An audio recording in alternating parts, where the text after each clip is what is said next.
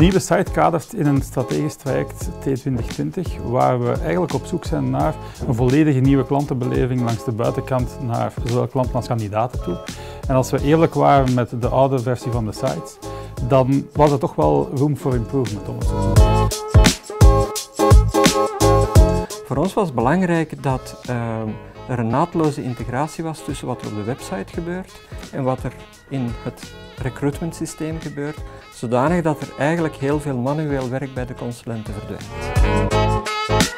We wouden inderdaad niet alleen dat onze sites snel waren, maar ook dat de, de implementatie uh, of het implementatietraject dat het eigenlijk op een goede zes maanden tijd van start to finish, dus van analyse tot het uh, live zetten van de sites, dat dat volledig uh, door een leverancier kon beholpen worden.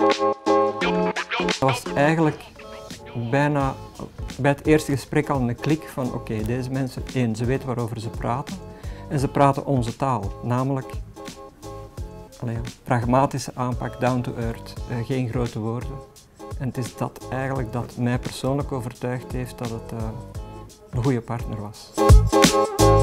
De, de perfecte match gevonden. Uh, wij matchen perfect met onze kandidaten en onze klanten. Wel, wij hebben ook een perfecte match gevonden met een leverancier voor dit traject te gaan doen. En dat was Intracto. Uh, binnen Intracto zelf hebben we eigenlijk vooral gewerkt met development, marketing, creatie, design, content. Dus ik denk dat we de gehele marketing, uh, sales en uh, designs afdelingen hebben aangepakt.